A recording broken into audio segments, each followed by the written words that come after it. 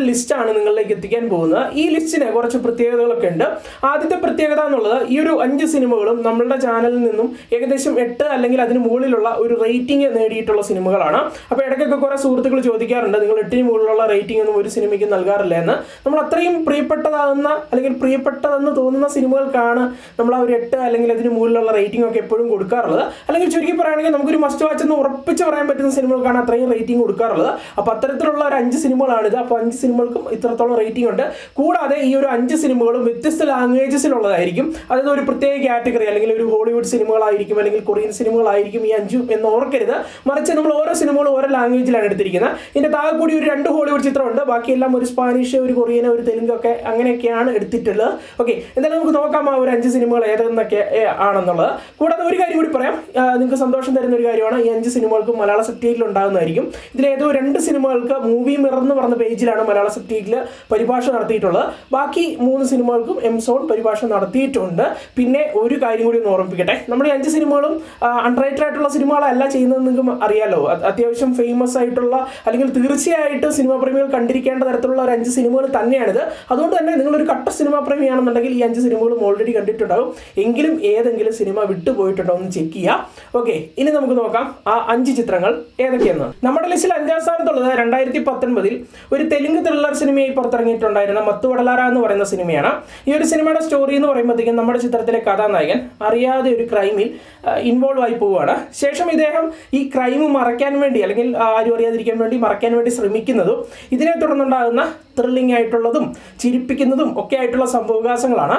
ഇനി ഈ ഒരു സിനിമയെ പറ്റി പറയുകയാണെങ്കിൽ ഇതൊരു പക്ക എന്റർടൈൻമെന്റ് മൂഡിൽ പോകുന്ന ഒരു സിനിമയാണ് കാരണം ഈ ഒരു സിനിമയുടെ സ്റ്റോറി എന്ന് പറയുമ്പോഴത്തേക്കും ഒരേ സമയം നമ്മളെ ചിരിപ്പിക്കും. ഓക്കെ അതേസമയം നമ്മളെ ത്രില്ല് പഠിപ്പിക്കും. അത്തരത്തിലുള്ള ഒരു സ്റ്റോറി ലൈൻ തന്നെയാണ് സിനിമയ്ക്കുള്ളിൽ ഉണ്ടായിരുന്നത്. അതായത് ഒരുപാട് ടിസ്റ്റുകളുണ്ട് ഒന്നിലധികം ടിസ്റ്റുകളൊക്കെ തന്നെ സിനിമയുടെ സ്റ്റോറിക്കുള്ളിലുണ്ട് ആ ടിസ്റ്റ് എന്നൊക്കെ പറഞ്ഞു കഴിഞ്ഞാൽ വളരെ ഇമ്പ്രസീവ് ആയിരുന്നു എന്ന് പറയാൻ സാധിക്കും. അത് നമ്മളിങ്ങനെ വണ്ടടിച്ചു പോകും അത്തരത്തിലുള്ള ഒരുപാട് ടിസ്റ്റുകളൊക്കെ സിനിമയ്ക്കുള്ളിലുണ്ട് അതുപോലെ സിനിമയുടെ ഒരു മേക്കിംഗ് ഒക്കെ പറയണം. ഒരു പുതുമുഖ സംവിധായകനാണ് ഇതിന്റെ ഡയറക്ടർ എന്നുള്ളത് പക്ഷേ നിങ്ങൾ കണ്ടു കഴിയുമ്പം യാതൊരു കാരണവശാലും ഇതൊരു പുതുമുഖ ഡയറക്ടർ ഡയറക്റ്റ് ചെയ്തിട്ടുള്ള സിനിമ എന്ന് പറയില്ല. അത്രയും ഒരു എന്റർടൈൻമെന്റ് വാല്യൂ ഒക്കെ കൊടുത്തിട്ടുള്ള ഒരു ഡയറക്ഷനും കാര്യങ്ങളൊക്കെ തന്നെയാണ് ഈ ഒരു സിനിമയ്ക്കുള്ളിൽ നടത്തിയിട്ടുള്ളത്. ആദ്യത്തെ ഒരു പതിനഞ്ച് അല്ലെങ്കിൽ ഒരു ഇരുപത് മിനിറ്റ് കൂട്ടിക്കോ. കുറച്ച് ലാഗായിട്ട് പോകും അല്ലെങ്കിൽ കുറച്ച് സ്ലോ ആയിട്ട് പോകും അത് കഴിയുമ്പോഴത്തേക്കും സിനിമ ഒരു പോക്കുണ്ട് ഒരു രക്ഷയില്ല. തീർച്ചയായിട്ടും കാണാത്തവർ കണ്ടു നോക്കുക. അന്ന് ഈ ഒരു സിനിമയ്ക്ക് നമ്മൾ റിവ്യൂ ചെയ്ത ടൈം എട്ടാണ് പത്തിൽ എട്ടാണ് റേറ്റിംഗ് കൊടുത്തിട്ടുണ്ടായിരുന്നത്. എന്തായാലും കണ്ടിട്ട് നിങ്ങളുടെ അഭിപ്രായങ്ങളൊന്ന് ഒന്ന് പങ്കുവച്ചേക്കാം. എന്തായാലും നമുക്ക് ഇനി ആ ഒരു നാലാം സ്ഥാനത്തുള്ള ചിത്രം. നോക്കാം. നിങ്ങളൊരു കൊറിയൻ ത്രില്ലർ ഫാൻ ആണെന്നുണ്ടെങ്കിൽ ഞാൻ ഈ പറയുന്ന സിനിമ നിങ്ങൾ ഒരുപാട് വർഷങ്ങൾക്ക് മുമ്പ് തന്നെ കണ്ടിട്ടുണ്ടാവും. സിനിമയുടെ പേര് നോ മേഴ്സി എന്നുള്ളതാണ്. രണ്ടായിരത്തി പത്തിൽ പുറത്തിറങ്ങിയിട്ടുണ്ടായിരുന്ന ഒരു ക്രൈം ത്രില്ലർ സിനിമയാണിത്. ഒരുപാട് പേരുടെ ഫേവറേറ്റ് സിനിമ കൂടിയാണെന്ന് എനിക്ക് തോന്നുന്നു. കാരണം ഈ കൊറിയൻ സിനിമകളൊക്കെ ആദ്യമായിട്ട് കാണുന്ന ടൈമിലൊക്കെ ഓൾമോസ്റ്റ് എല്ലാവരും കണ്ടു തീർക്കുന്ന ഒരു സിനിമയാണ്. ഞാനും അങ്ങനെ തന്നെയായിരുന്നു. എന്തായാലും സിനിമയുടെ സ്റ്റോറി എന്ന് പറയുമ്പോഴത്തേക്ക് ഇത്രേ ഉള്ളൂ. ഒരു ദിവസം ഒരു പെൺകുട്ടിയുടെ ജഡം അല്ലെങ്കിൽ മൃതദേഹം ഒരു വയലിന്റെ ഭാഗത്ത് നിന്ന് കിട്ടുകയാണ് അതും അഞ്ചാറ് പീസുകളൊക്കെ ആക്കി ഏതോ ഒരു സൈക്കോ കീറി മുറിച്ചാണ് അവിടെ ഇട്ടിരിക്കുന്നത് തുടർന്ന് പ്രതിയെയും കിട്ടി. അതായത് പോലീസുകാർ പെട്ടെന്ന് തന്നെ ഒരു ആളെ സസ്പെക്ട് ചെയ്തു. അദ്ദേഹത്തിന്റെ അടുത്ത് ചെന്ന് ചുമ്മാ ചോദിച്ചുള്ളൂ നീ ആണോടാ ഈ പെൺകുട്ടിയെ കീറി മുറിച്ച് അവിടെ ഇട്ടത്? നിൽക്കുന്നു. അപ്പോഴത്തേക്കും ആ പ്രതി പറഞ്ഞു അത് ഞാനാണ് അത് ചെയ്തതെന്ന് ഓപ്പണായിട്ട് അദ്ദേഹം പറയുകയും ചെയ്യുന്നു. തുടർന്ന് കുറച്ച് അപ്രതീക്ഷിതമായിട്ടുള്ള നിമിഷങ്ങളൊക്കെ സിനിമയിലൂടെ കിട്ടും. അതെന്താണെന്ന് ഞാൻ പറയുന്നില്ല. ഈ സിനിമയുടെ പ്രത്യേകത എന്നുള്ളത് ഇതിന്റെ ക്ലൈമാക്സ് ആണ്. അതായത് ഇങ്ങനെ കണ്ണ് തള്ളിപ്പോവും. അമ്മാതിരി ഒരു ടിസ്റ്റാണ് ഈ ഒരു സിനിമയ്ക്കുള്ളിലുള്ളത്? ആ ടിസ്റ്റ് എന്നുള്ളതാണ് സിനിമയുടെ ഏറ്റവും വലിയ പോസിറ്റീവ് വശം എന്നുള്ളത്. നിങ്ങൾ സ്വപ്നത്തിൽ പോലും കരുതില്ല ഈ ഒരു സിനിമയിൽ ഇത്തരത്തിലുള്ള ഒരു ട്വിസ്റ്റ് ആയിരിക്കും വരാൻ പോകുന്നത് എന്നുള്ളത്. അതാണ് സിനിമയുടെ പ്രത്യേകത. അതുപോലെ ഹീറോ ആയിട്ട് എത്തിയിട്ടുണ്ടായിരുന്ന ആക്ടറിന്റെ പ്രകടനമായിട്ട് ആ ഒരു മേക്കിംഗ് ആകട്ടെ എല്ലാം കൊണ്ടും ഗംഭീരമായിട്ടുള്ള ഒരു സിനിമയാണ്. ഡോൺ മിസ് ഇറ്റ് അത് എല്ലാവരും കണ്ടിട്ടുണ്ടാകും. കാണാത്തവർ മിസ് ചെയ്യരുത്. എസ്പെഷ്യലി ക്ലൈമാക്സിൽ ട്വിസ്റ്റ് അത് കിളി പറത്തുന്ന ട്വിസ്റ്റുകളുള്ള സിനിമകൾ കാണാൻ ആഗ്രഹിക്കുന്നവർ നേരെ വിട്ടു. പിന്നെ കുറച്ച് പ്രായപൂർത്തിയായവർ മാത്രം പോവുക. എയ്റ്റീൻ പ്ലസ് കണ്ടന്റ് ഒക്കെ ഉണ്ട് ഓക്കെ എന്തായാലും അതുകൊണ്ട് തന്നെ ഇച്ചിരി മെച്ചൂർഡായിട്ടുള്ളവർ കാണാനും ശ്രമിക്കുക. അന്ന് ഈ ഒരു സിനിമയ്ക്ക് എയ്റ്റ് ഔട്ട് ഓഫ് ടെൻ ആണ് നൽകിയിട്ടുണ്ടായിരുന്നത്. തീർച്ചയായിട്ടും കണ്ടു നോക്കുക ഇനി നമുക്ക് നോക്കാം ഒരു മൂന്നാം സ്ഥാനത്തുള്ള ചിത്രം. ഏതെന്ന് ആയിരത്തി തൊള്ളായിരത്തി തൊണ്ണൂറ്റി ഒൻപതിൽ ഒരു ഹോളിവുഡ് ക്രൈം ത്രില്ലർ സിനിമയായി പുറത്തിറങ്ങിയിട്ടുണ്ടായിരുന്ന റെസറക്ഷൻ എന്ന് പറയുന്ന സിനിമയാണ് നമ്മുടെ ലിസ്റ്റിൽ ആ ഒരു മൂന്നാം സ്ഥാനത്തുള്ളത്. ഈ ഒരു സിനിമയുടെ സ്റ്റോറി എന്ന് പറയുമ്പോഴത്തേക്കും നമ്മുടെ ഈ ഒരു ചിത്രത്തിൽ ഒരു സൈക്കോ കില്ലർ ഉണ്ട്. അദ്ദേഹത്തിന്റെ പാറ്റേൺ അല്ലെങ്കിൽ അദ്ദേഹം ചെയ്യുന്ന രീതി എന്നുള്ളത് ആളുകളെയൊക്കെ കണ്ടെത്തിയിട്ട് കൊല്ലും ശേഷം കയ്യോ തലയോ കാലോ വാലോ എന്തെങ്കിലുമൊക്കെ വെട്ടിയെടുത്തുകൊണ്ട് പോകും. ഓക്കെ ഇതാണ് അദ്ദേഹത്തിന്റെ സ്ഥിരം പാറ്റേൺ എന്നുള്ളത്. അതായത് ഇന്നേ ദിവസം ഒരുത്തന്റെ കൈയാണ് വെട്ടിയതെങ്കിൽ നാളെ ദിവസം മറ്റൊരുത്തന്റെ കാലായിരിക്കും വെട്ടിക്കൊണ്ട് പോവുക അപ്പോൾ ഇത്തരത്തിലുള്ള ഈ ഒരു സൈക്കോ കില്ലറെ പിടിക്കാൻ വേണ്ടി നമ്മുടെ ചിത്രത്തിലെ രണ്ട് ഡിക്റ്റേറ്റീവ്സ് ആയിട്ടുള്ള കേന്ദ്ര കഥാപാത്രങ്ങൾ ശ്രമിക്കുന്നതാണ് ഈ ഒരു സിനിമയുടെ പ്രമേയം എന്നുള്ളത്. ഈ സിനിമയുടെ ഏറ്റവും വലിയൊരു പ്ലസ് പോയിന്റ് ആയിട്ട് ഞാൻ കാണുന്നത് സിനിമയുടെ സംവിധാനം എന്നുള്ള ഒരു കാര്യം തന്നെയാണ്. ഒരു ലാഗ് സീറോ ലാഗിങ് പടമാണ്.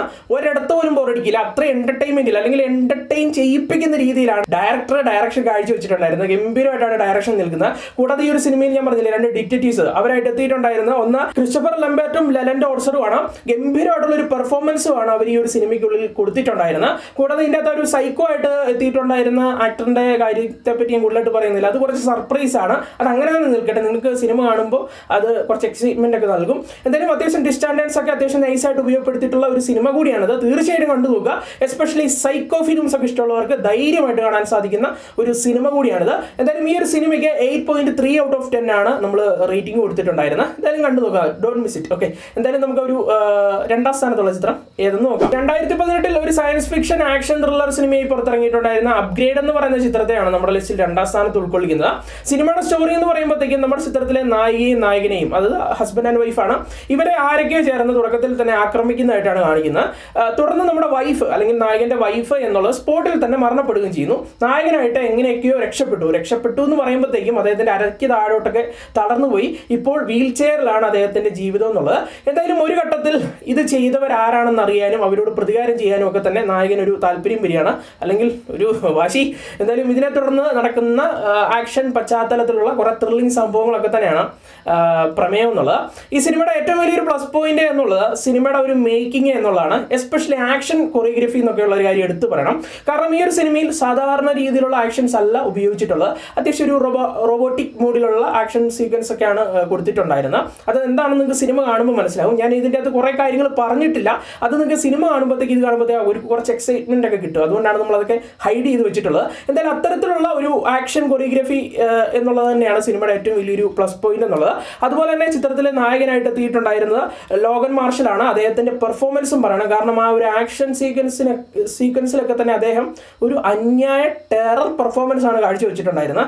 അത് എന്തുകൊണ്ടെന്ന് നിങ്ങൾക്ക് സിനിമ കാണുമ്പോൾ മനസ്സിലാകും. ഓക്കെ എന്തായാലും കണ്ടു നോക്കുക. കൂടാതെ ക്ലൈമാക്സിലൊക്കെ തന്നെ അത്യാവശ്യം കിളി പറത്തുന്ന ഒരു ടിസ്റ്റും ഒക്കെ തന്നെ കൊണ്ടുവച്ചിട്ടുണ്ട്. ധൈര്യമായിട്ട് കാണാൻ സാധിക്കുന്ന ഒരു സിനിമ തന്നെയാണ്. ഈ സിനിമയ്ക്ക് നമ്മൾ eight point five out of ten ആണ് നൽകിയിട്ടുണ്ടായിരുന്നത്. ഓക്കെ ഇനി നമുക്ക് നോക്കാം ആ ഒരു ഒന്നാം സ്ഥാനത്തുള്ള ചിത്രം. ഏതെന്ന്? ത്രില്ലർ ഫാൻസിന്റെ എക്കാലത്തെയും ഫേവറേറ്റ് ചിത്രം. രണ്ടായിരത്തി പതിനാറിൽ ഒരു മിസ്റ്ററി ത്രില്ലർ സിനിമയിൽ പുറത്തിറങ്ങിയിട്ടുണ്ടായിരുന്ന ദ ഇൻവെസിബിൾ ഗസ്റ്റ് എന്ന് പറയുന്ന സ്പാനിഷ് ചിത്രം. ഇതാണ് നമ്മുടെ ലിസ്റ്റിലെ ഒരു ഒന്നാം സ്ഥാനത്തുള്ളത്. എനിക്ക് തോന്നുന്നു ഈ ഒരു വീഡിയോ കാണുന്ന തൊണ്ണൂറ്റൊൻപത് പോയിന്റ് ഒൻപത് ശതമാനം ആളുകളും കണ്ടിട്ടുണ്ടാവും. ആരെങ്കിലും ഒരാൾ മിസ് ചെയ്തിട്ടുണ്ടെങ്കിൽ ധൈര്യമായിട്ട് പോകും അമ്മാതിരി കിടിലം പടമാണ് ഈ സിനിമ നമ്മുടെ ഇന്ത്യൻ ഭാഷയിൽ തന്നെ ഒരു ഒന്ന് രണ്ട് ലാംഗ്വേജിലൊക്കെ റീമേക്ക് ചെയ്തിട്ടുണ്ട്. തെലുങ്കിൽ ഇവർ എന്ന് പറഞ്ഞ രീതിയിലൊക്കെ തന്നെ റീമേക്ക് ഒക്കെ ചെയ്തിട്ടുണ്ടായിരുന്നു. എന്തായാലും ഈ ഒരു സിനിമയാണ് നമ്മുടെ ലിസ്റ്റിൽ ഒന്നാം സ്ഥാനത്തുള്ളത്. സിനിമയുടെ സ്റ്റോറി എന്ന് പറയുമ്പോൾ ഇത്രേ ഉള്ളൂ. നമ്മുടെ ചിത്രത്തിലെ നായകൻ. ഓക്കെ നായകനെ ഒരു ദിവസം പോലീസ് അറസ്റ്റ് ചെയ്യണം. അതിനുള്ള കാരണം എന്നുള്ളത് നായകനും നായികയും കൂടി ഒരു റൂമിലിരിക്കുകയാണ്. ആ ഒരു ടൈമിൽ പെട്ടെന്ന് ആരോ ഒരാൾ ഇവരെ ആക്രമിക്കുകയാണ്.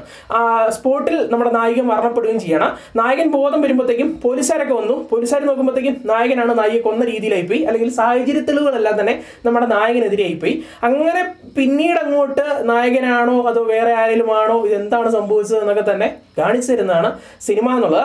ഈ സിനിമയുടെ ഏറ്റവും വലിയൊരു പ്ര- പ്രത്യേകത അല്ലെങ്കിൽ ഏറ്റവും വലിയ പ്ലസ് പോയിന്റ് എന്നുള്ളത് അപ്രതീക്ഷിതമായിട്ടുള്ള ക്ലൈമാക്സ് എന്നുള്ളതാണ്. എനിക്ക് തോന്നുന്നില്ല ഒരു തൊണ്ണൂറ്റൊൻപത് പോയിന്റ് ഒൻപത് ശതമാനം ആളുകളും ഇത്തരത്തിലുള്ള ഒരു ക്ലൈമാക്സ് പ്രതീക്ഷിക്കില്ല. ഞാൻ മുമ്പേ പറഞ്ഞ പോലെ നോമേഴ്സിലെ ക്ലൈമാക്സ് ഒക്കെ പോലെ ഒട്ടും പ്രതീക്ഷിക്കാത്ത രീതിയിലുള്ള ഒരു എൻഡിങ് തന്നെയാണ് സിനിമയ്ക്കുള്ളിൽ നടത്തിയിട്ടുണ്ടായിരുന്നത്. അതിന് വേറെ ഒരു സവിശേഷത എന്നുള്ളത് നമ്മൾ ആ ടിസ്റ്റ് കണ്ടു കഴിയുമ്പോഴത്തേക്കും പിന്നീട് അങ്ങോട്ട് ചിന്തിച്ച് കഴിയുമ്പോൾ സിനിമയുടെ തുടക്കം തൊട്ട് ചിന്തിച്ച് കഴിയുമ്പോഴത്തേക്കും ഇത് ഓൾറെഡി പറഞ്ഞായിരുന്നു നമ്മൾ ശ്രദ്ധിക്കാത്തതിന് കുഴപ്പമല്ലേ എന്ന് തോന്നും. അത് നമുക്ക് ഓൾറെഡി കുറേ ഹിന്ദികളൊക്കെ ഈ സിനിമയുടെ ആ ഒരു അവതരണത്തിലൂടെ തരുന്നുണ്ട്. അപ്പം നമ്മൾ ചുമ്മാ ഒന്ന് ചിന്തിച്ചാൽ മതി. പക്ഷെ അതിനുള്ള സ്പേസ് പോലും തരുന്നില്ല. കാരണം നമ്മൾ അത്യാവശ്യം എൻഗേജിങ് ആക്കിയാണ് ഇരുത്തുന്നത്. അപ്പോൾ നമ്മൾ ആ ഒരു ഫ്ലോയ്ക്ക് അങ്ങ് കണ്ട് തീർത്ത് പോവാണ്.